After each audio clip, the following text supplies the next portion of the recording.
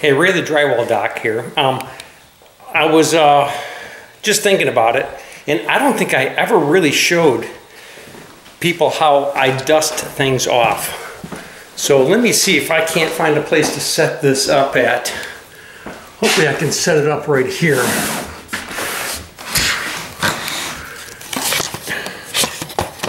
I need a,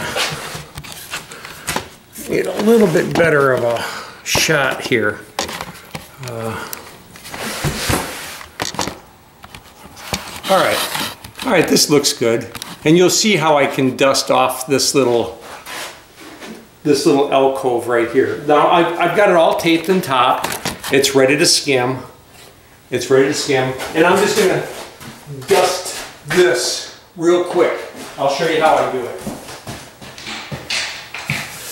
So I, I, I take the sandpaper here all I do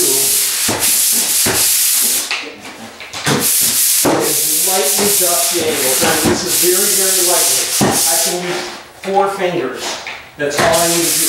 All I'm doing is running the paper over the areas that I'm going to be skimming so I don't get any scratches. Now when it comes to the flats,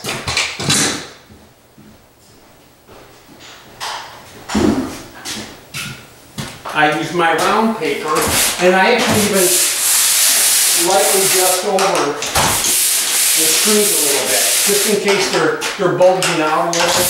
And, but I only have to do it lightly. Unless, unless my old helper has done it, then you're gonna have to grind it. But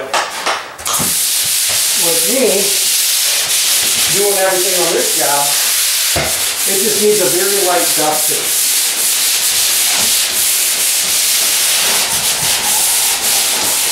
That's it. And then I will hit the ceiling. And all I'm trying to do